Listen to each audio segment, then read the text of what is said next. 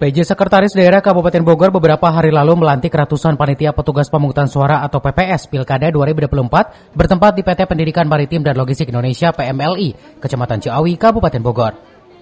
PJ Sekda Kabupaten Bogor Suryanto Putra meminta panitia pemungutan suara yang baru dilantik agar bekerja profesional demi mensukseskan pemilihan kepala daerah Pilkada Kabupaten Bogor yang berintegritas dan lahirkan pemimpin berkualitas di bumi tegar beriman.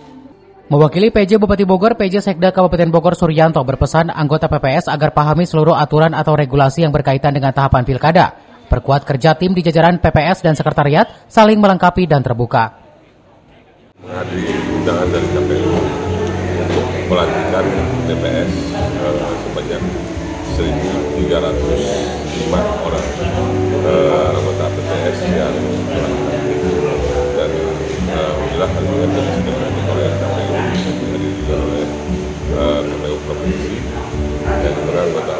dengan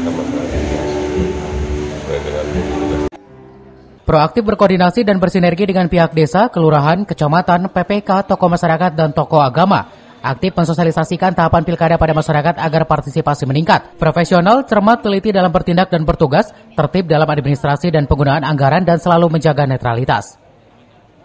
Ketua KPU Kabupaten Bogor Muhammad Adi Kurnia mengatakan PPS yang dilantik hari ini adalah mereka yang terpilih karena dianggap memiliki integritas dan profesionalitas. Para anggota PPS dihadapkan dengan jadwal tahapan pilkada yang sangat padat, salah satunya dalam waktu dekat PPS akan melaksanakan verifikasi faktual dan pemetaan TPS.